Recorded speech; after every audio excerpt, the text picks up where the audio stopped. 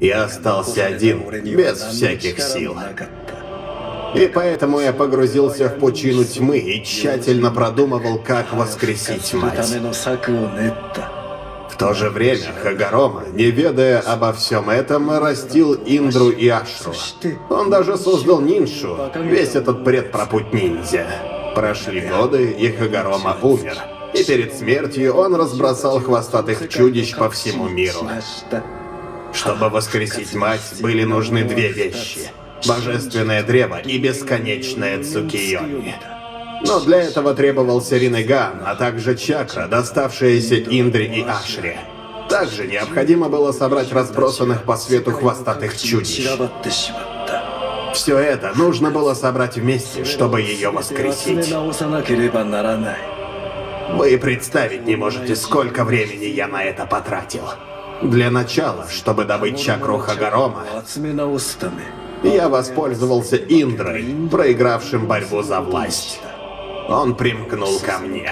А затем я сделал наследников Индры, клану Чиха, главными персонажами в этой истории. Мне пришлось подредактировать ту чушь, которую написал Хагарома. Ты о чем? Ах да, я говорю о той каменной табличке. Я написал там, что бесконечная Цукиоми — это единственный способ спасти клан. И должен сказать, вы, Учихи, превосходно сыграли свои роли. Ублюдок! Индра и клан Учиха. Ашра и клан Сенджу. Мне удалось постоянно поддерживать борьбу за власть. Более того, каждый раз я приходил к реинкарнациям Индры и Ашры в каждом из кланов, чтобы попробовать заполучить Риннеган. И каждый раз неудачно. Вот так и прошла тысяча лет. Но когда на свет появились Мадара Учиха и Хаширама Сенджу, я наконец начал верить, что у Мадары получится это сделать. Это был первый шаг на пути к воскрешению Кагуи.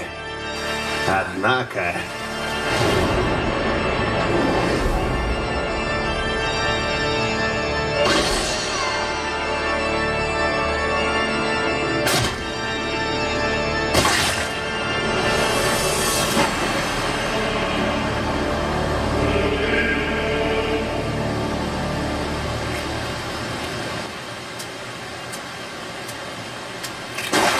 Учиха Мадара проиграл Хаширами Сенджу,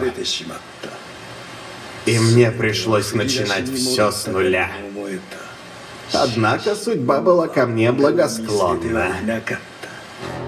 Место захоронения Мадары — это словно пещера сокровищ для шиноби. Табирама, в то время изучавший тайны Шерингана, не стал уничтожать его труп. Вместо этого он спрятал его останки в горах Канохи. Но Мадара не был глупцом. Он понял, что если он проиграет в битве, Табирама не избавится от его тела.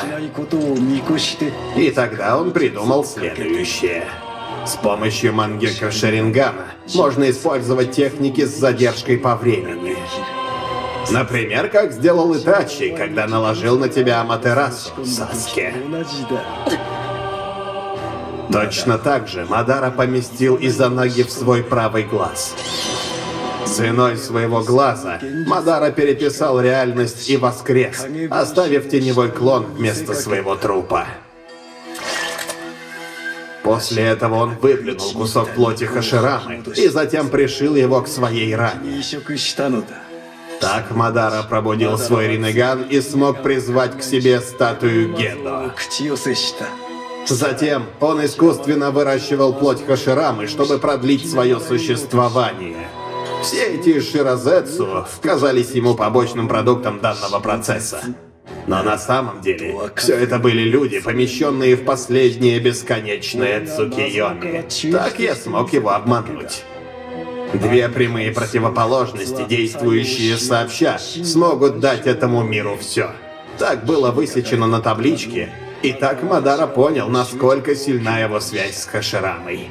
Я начал строить план по сбору хвостатых чудищ. Это должно было выглядеть так, будто я появился по воле Мадары, чтобы манипулировать Обита. Я создал Акаски и с их помощью развязал войну. Чтобы сражения шли с еще большей силой, я позволил кому-то найти труп Мадары. Вдобавок, я подсказал ему использовать труп как рычаг воздействия и заставил Обита сотрудничать с ним. Все прошло как по маслу. Мне удалось заполучить бесконечное Цукиоми. И, используя огромное количество человеческой чакры, я воскресил свою мать. Мое сердце полно ненависти. Хагарома, Хамура, теперь вы мои.